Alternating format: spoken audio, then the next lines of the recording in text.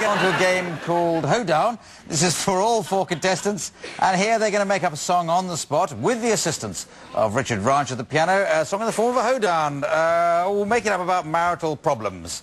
So the marital problems hoedown, starting with Josie, working your way down the line to Ryan. Away you go.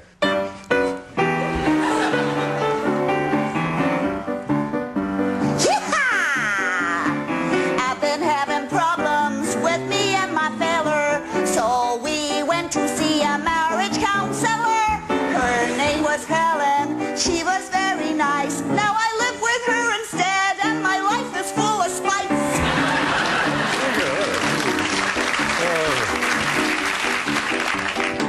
Good, isn't it?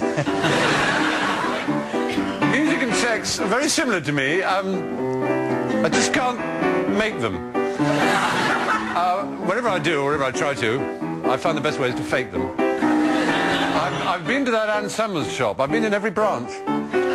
The only way I can really get it off is with Richard Vranch.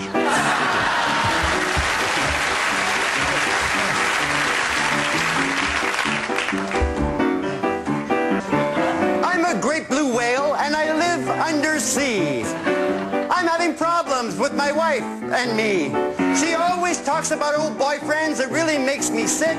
Well, how the hell can I compare to a guy named Moby Dick?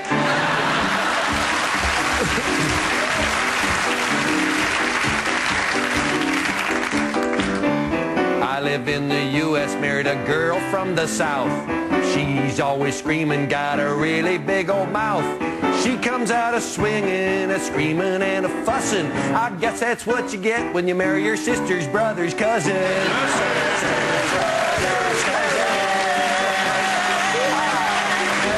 well done. And, and almost unbelievably, based on that last ho- hoedown, I can announce that the winner this week is Stephen Fry. So, well, uh, that's the way it comes out because uh, we want Stephen to read the credits in the style of my choosing, and you do that in the style of somebody who's reporting on the opening night of an opera, and all the others will be the opera stars arriving just as things seem to be going wrong. It just remains me to thank uh, Josie Lawrence, Stephen Fry, Colin Mochrie, Ryan Stiles, Richard Vranch, the pianist, me, Clive Adams, saying good night. Good night.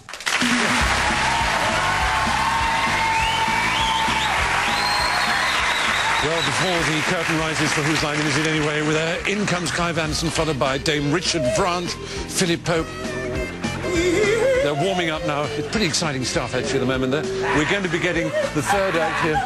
Oh, my God, her epiglottis has escaped. Her epiglottis has bounced across the room. We hope there's a separate one there. We've got, we've got a Norm in the background from Wagner, which is surprising because we're doing Verdi this evening. There we are. I think I'm getting a bit of a pickup line here. I may be in luck.